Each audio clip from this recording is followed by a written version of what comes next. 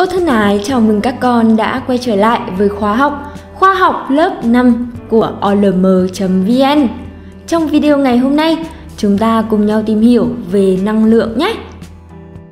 Trước hết, cô và các con sẽ cùng làm một số thí nghiệm đơn giản.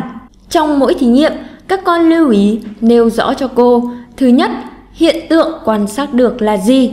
Thứ hai, vật bị biến đổi như thế nào? Và thứ ba, suy nghĩ xem nhờ đâu mà vật có biến đổi đó. Chúng ta bắt đầu nhé!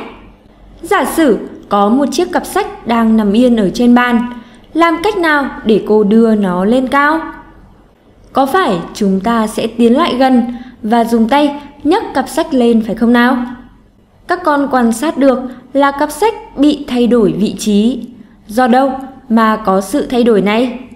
Bởi vì khi chúng ta dùng tay nhấc cặp sách thì năng lượng do tay ta cung cấp đã làm cặp sách dịch chuyển lên cao. Thí nghiệm đầu tiên rất đơn giản, các con hoàn toàn có thể tự thực hiện được và quan sát, giải thích hiện tượng. Chuyển sang thí nghiệm thứ hai, cô có một ngọn nến ở trên bàn.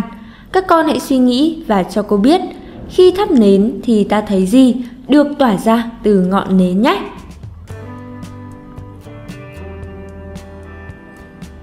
Đúng rồi các con ạ, à, khi ngọn nến cháy, nó phát ra ánh sáng. Đồng thời, nếu đưa tay lại gần, ta còn cảm thấy nóng, tức là nó tỏa ra cả nhiệt nữa. Như vậy, nến bị đốt cháy đã cung cấp năng lượng cho việc phát sáng và tỏa nhiệt. Thí nghiệm thứ ba, cô có một chiếc ô tô đồ chơi có gắn động cơ điện, đèn và coi. Khi chưa lắp pin, bật công tắc thì theo các con, ô tô có hoạt động hay không? Các con dự đoán rất chính xác, khi chưa lắp pin thì ô tô không hoạt động. Bây giờ các con lắp pin và bật công tắc lên thì sẽ thấy động cơ quay, đèn sáng và còi kêu, chứng tỏ rằng điện do pin đã cung cấp năng lượng làm cho động cơ quay, đèn sáng và còi kêu. Từ ba thí nghiệm trên, các con thấy rằng cần cung cấp năng lượng để vật có thể biến đổi, hoạt động. Chúng ta rút ra kết luận đầu tiên Muốn làm cho các vật xung quanh biến đổi thì cần có năng lượng. Trong cuộc sống hàng ngày, các con có thể nhận ra rằng hoạt động của con người, động vật hay máy móc thì đều có sự biến đổi. Như vậy, bất kỳ hoạt động nào cũng đều cần dùng năng lượng. Con người chúng ta hàng ngày phải ăn uống, hít thở để có năng lượng cho các hoạt động như đi lại, học tập, chơi thể thao, vân vân. Thức ăn chính là nguồn cung cấp năng lượng cho các hoạt động của con người. Thế còn đối với động vật hay máy móc thì sao? Các con hãy quan sát bức tranh sau và nói tên một số nguồn cung cấp năng lượng cho hoạt động của con người, động vật, phương tiện ở trong bức tranh này nhé. Đúng rồi, trong hình các con thấy một số bác nông dân đang cày cấy. Năng lượng cung cấp cho con người là thức ăn Tương tự thì với động vật, cụ thể ở đây là con trâu, cũng cần thức ăn để có thể hoạt động. Xa xa thì các con thấy chiếc xe máy đang chạy, xe máy có năng lượng từ xăng đấy. Chuyển sang bức tranh tiếp theo, ở đây có hoạt động thả diều của các bạn nhỏ. Các con có thể dễ dàng nêu được nguồn cung cấp năng lượng cho các bạn nhỏ là gì phải không nào?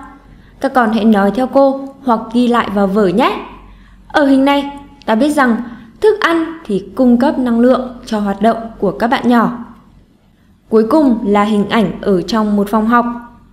Cô để ý tới hoạt động của các bạn học sinh, của chiếc đồng hồ và của bóng đèn.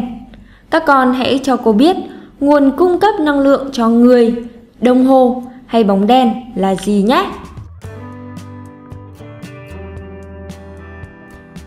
Chúc mừng các con! Ở đây các bạn học sinh có năng lượng từ thức ăn tương tự như ở hai hình trước. Chiếc đồng hồ treo tường này thường được lắp pin vào để hoạt động. Thế còn bóng đèn thì được cắm trực tiếp vào ổ điện để phát sáng. Qua các ví dụ vừa rồi, các con đã học cách chỉ ra nguồn năng lượng cho các hoạt động của con người, động vật, phương tiện, máy móc, vân vân. Các con hãy ghi nhớ hai nội dung chính của bài ngày hôm nay. Thứ nhất, mọi sự biến đổi thì đều cần năng lượng. Thứ hai, thức ăn chính là nguồn cung cấp năng lượng cho các hoạt động của con người. Cảm ơn các con đã tham gia bài học ngày hôm nay. Cô thân ái chào tạm biệt và hẹn gặp lại các con.